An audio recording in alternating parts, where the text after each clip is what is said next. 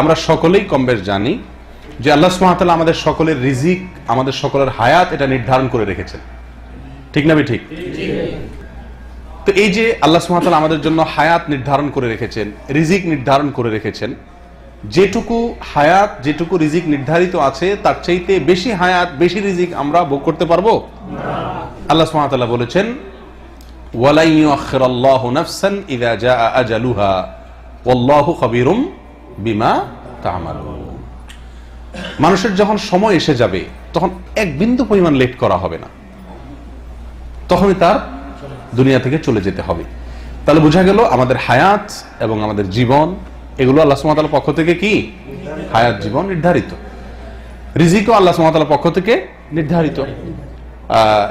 নবী সাল্লা সাল্লাম বলেছেন সহিদিসে আসছে যে, একটি শিশু যখন মাতৃগর্ভে চার মাস বয়স হয়, গর্ভের তখন আল্লাহ সুমাতার পক্ষ থেকে একজন ফেরেস্তা আসেন। আল্লাহ একজন ফেরেস্তাকে পাঠান। এই ফেরেস্তা এসে ওই শিশুর মাঝে রুহ ফুৎকার দেন। রুহ কি করে? ফুৎকার দিয়ে থাকেন। এবং এই শিশু দুনিয়াতে এসে কতদিন হায়াত পাবে, কবে সে দুনিয়া থেকে বিদায় হবে, সেটা লিখে দেন। এবং আরও লিখে দেওয়া হয় যে, এই শিশু পৃথিবীতে এসে কতটুকু পরিমাণ কি রিজিক ভোগ করবে, কি আমল করবে। তাহলে এই হাদিস থেকে বোঝা গেল আমাদের হায়াত, আমাদের রিজিক, এগুলা সব আল্লাহর পক্ষ থেকে নির্ধারিত এবং চূড়ান্ত। ঠিক না বে ঠিক অথচ আমরা জানি অনেক আমল করলে সুন্নাহ অনেক আমলের ব্যাপারে আমাদেরকে নির্দেশ করা হয়েছে যে অমুক আমল করলে, অমুক কাজটা করলে আমাদের রিজিক বাড়ে, হায়াত বাড়ে। এরকম আছে না? তার ভিতরে একটি উল্লেখ করার মতো সহি বুখারিতে আসছে, আনাস মালিক রাদিয়াল্লাহু তাআলা বর্ণনা করেছেন, নবী সাল্লাল্লাহু আলাইহি ওয়াসাল্লাম ইরশাদ করেছেন, মান সাররাহু আন ইউবসাতা লাহু ফি রিজকিহি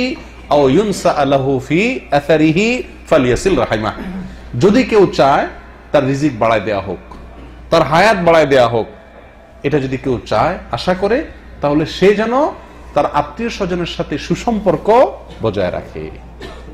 আত্মীয় সাথে, আত্মীয় স্বজনের সাথে সুসম্পর্ক বজায় রাখলে কি হবে? রিজিক বাড়বে, হায়াত বাড়বে। তাহলে একটু আগেই আমরা শুনলাম যে কোরআন এবং সুন্নায় আল্লাহ সুমাতালা আমাদের রিজিক এবং হায়াত এগুলোর ব্যাপারে এগুলোর পরিমাণ আল্লাহ তালা চূড়ান্ত করে রেখেছেন। তাকদিরের উপর আমাদের বিশ্বাস আছে না? ইমানের গুরুত্বপূর্ণ একটি পয়েন্ট হলো তাকদিরের উপরে বিশ্বাস করা। আর তাকদির উপরে বিশ্বাস করার মানে হলো আমাদের হায়াত এবং রিজিক আল্লাহ সুমাতালা নির্ধারণ করে রেখেছেন, তার ব্যতিক্রম হবে না। এই না? অথচ বুখারের হাদিস থেকে বোঝা যাচ্ছে যে আত্মীয় স্বজনের সাথে সুসম্পর্ক বজায় রাখলে হায়াত বাড়বে, রিজিক বাড়বে। তো আল্লাহ যদি এটা নির্ধারণ করেই রাখেন আবার এই আমল করলে বাড়বে কীভাবে? প্রশ্নটাকে বুঝতে পেরেছেন আপনারা? এই প্রশ্ন উত্তর কি? এই প্রশ্ন উত্তরে একটি হাদিস এবং আল্লাহ ইবনে রাহমাহুল্লাহর একটি বক্তব্য উল্লেখ করতে চাই। তিরমিজিতে এক হাদিসে আসছে, নবী আলাইহি সাল্লাম বলেছেন যে, এক সাহাবি নবী আলাইহি সাল্লামকে জিজ্ঞেস করছেন, ইয়া রাসূলুল্লাহ, আমরা অনেক সময় বৈধ জার ফুক নেই, অসুস্থ হলে, অসুবিধা হলে, ঔষধ খাই, চিকিৎসা হিসাবে। সতর্কতামূলক ব্যবস্থা গ্রহণ করি সতর্কতার জন্য। তো এই যে আমরা উপায়গুলো অবলম্বন করি, আল্লাহ আমাদের জন্য যা নির্ধারণ করে রেখেছেন, এই উপায়গুলো অবলম্বন করলে কি আল্লাহর নির্দেশ, আল্লাহর নির্ধারণ, আল্লাহর ফয়সালা, আল্লাহর তাকদীরের কোনো হেরফের হয় কিনা? যদি হেরফের না হয়, তাহলে এগুলো উপায় অবলম্বন করে লাভ কি? আর যদি হেরফের হয়ে যায়, তাহলে আল্লাহর তাকদির যে পরিবর্তনযোগ্য নয়, সেটা কীভাবে হলো? কথা বুঝতে পারছি? তখন নবী সাল্লাম ওই সাহাবীকে বলেছেন, হিয়া মিন কাদারিল্লাহ।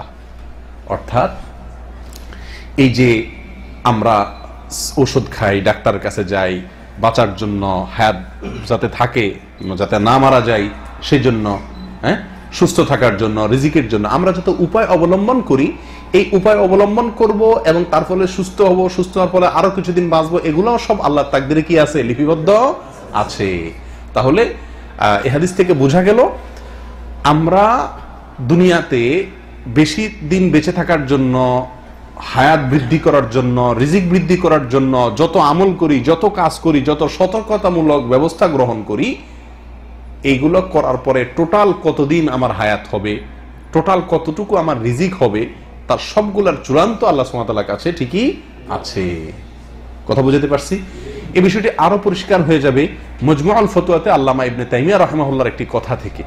তিনি বলেছেন যে আল্লাহ সুমাতাল্লাহ নির্দেশ করেন ফেরেশতাকে যে অমুকের রিজিক লেখো তুমি, অমুকের হায়াত লেখো। তখন ফেরেশতা লেখেন যে অমুকের জন্য এত বছর, এত দিন, এত মাস, এত ঘণ্টা, এত সেকেন্ড বরাদ্দ। এটা হলো তার হায়াত। কাকে নির্দেশ করেন আল্লাহ তালা ফেরেশতাকে। তো ফেরেশতা ওটা লেখেন। এরপর আল্লাহ সুবহানাহু তাকে নির্দেশ করেন আরও যে তুমি আরও লেখো। কি লেখো? যে এই বান্দা যদি সে এই কাজটা করে, তাহলে তার হায়াত বৃদ্ধি পাবে। এটা করলে এই পরিমাণ বৃদ্ধি পাবে। এটা হলো শর্ত সাপেক্ষে এক্সটেনশন হায়াত এবং রিজিকের মধ্যে। কথা বুঝাতে পারছি? তখন ফেরেশতা ওইটাও লেখেন। ফেরেশতা জানেন এটা লেখার পরে যে এই লোকটার নিশ্চিত এবং চূড়ান্ত রিজিক বা হায়াত কতদিনের, তার পরিমাণ কি, এটা ফেরেশতা জানেন। কিন্তু ওই যে শর্ত সাপেক্ষে এ কাজ করলে বাড়বে, না হলে বাড়বে না। এটা তার কাজের উপর নির্ভর করবে। এখন সে করে বাড়াইতে পারবে নাকি পারবে না? তার হায়াত টোটাল কোথায় গিয়ে দাঁড়াবে? রিজিকের ফিগার লাস্ট কোথায় গিয়ে দাঁড়াবে? এটা ওই ফেরেশতা জানেন না। আমরাও জানি না। কিন্তু আল্লাহ সুবহানাহু ঠিকই জানেন। তার মূল হায়াত, মূল রিজিকের সঙ্গে তার নেকামল করলে, ভালো কাজ করলে, সতর্কতামূলক উপায় অবলম্বন করলে, যোগ হতে হতে আমাদের হায়াত কোথায় গিয়ে ঠেকবে, আমাদের রিজিক কোথায় গিয়ে ঠেকবে, সেই চূড়ান্ত শেষ পরিমাণটুকু আল্লাহ সুবহানাহু ঠিকই জানেন। তাহলে আমরা বলতে পারি যে আমাদের তাকদির এবং রিজিক এটা আগে থেকে আল্লাহ তালা চূড়ান্ত করে রেখেছেন।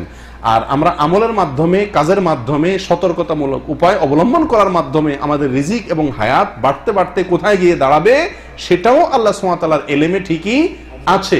অতএব সেটাও আল্লাহ তাকদিরেরই অন্তর্ভুক্ত। তবে তাকদিরের দুইটা শ্রেণি, কিছু পরিমাণ হায়াত, কিছু পরিমাণ রিজিক যে চূড়ান্ত, যেটাকে তাকদিরে মুবরাম বলা হয়, সেটুকু হয়তো আমরা ফেরেশতা জানেন। ফেরেশতা জানেন আমরা তো সেটুকুও জানি না। আর গায়রে মোবরাম যেটা, অচূড়ান্ত যেটা আমাদের কাজের সঙ্গে সংশ্লিষ্ট, অচূড়ান্ত সেটা আমাদের দৃষ্টিতে অচূড়ান্ত। ফেরেশতা যিনি, তার দৃষ্টিতে অচূড়ান্ত, যিনি নির্দেশ করা হয়েছে যাকে লেখার জন্য। কিন্তু আল্লাহর কাছে সেটাও কি? চূড়ান্ত এবং নির্ধারিত। তাহলে আমরা নেকামল করে রিজিক বাড়াচ্ছি, হায়াত বাড়াচ্ছি এই বাড়ায় বাড়ায় কোথায় যে ঠেকবো, এটাও আল্লাহ জানেন, অতএব ওইটাও আল্লাহর তাকদিরেরই অংশ। কথা বুঝে আসছে ভাই? আল্লাহ তাআলা আমাদেরকে বোঝার তৌফিক দান করেন।